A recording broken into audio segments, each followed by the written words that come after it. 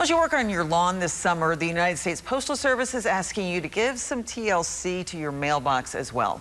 Chris Bryant has what you can do to improve your service and your safety. Mailbox Improvement Week is exactly what it sounds like. The United States Postal Service is asking their customers to make sure that their mailboxes are within the right height and distance from the curb when it comes to curbside delivery.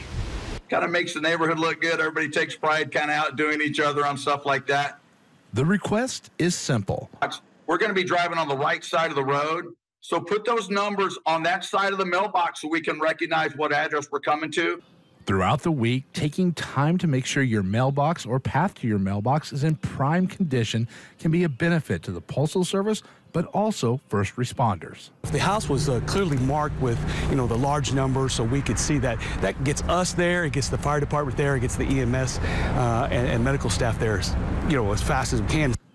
While labeling the mailbox may be an option in the city limits of Springfield. Yeah, there is actually a city ordinance that you're required to have it on the house um, and clearly visible um, with all the numbers on there. Some of the things to look at when participating in Mailbox Improvement Week, the Postal Service recommends you take some time to inspect your mailbox. That inspection can include replacing those loose hinges, repainting, and even remounting your mailbox. You also need to make sure there's a clear path to your mailbox and remove or trim back any plants or bushes that may be blocking your house number from view.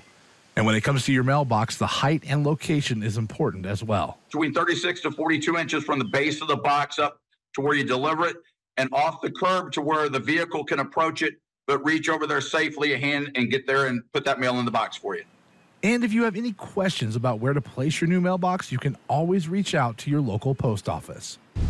Now, Inglet says if you're going to replace your mailbox, you need to make sure that it has been approved by the Postmaster General. You can find those usually on your mailbox, somewhere stamped on. Most home improvement stores like Lowe's, Home Depot, Ace Hardware only sell approved mailboxes.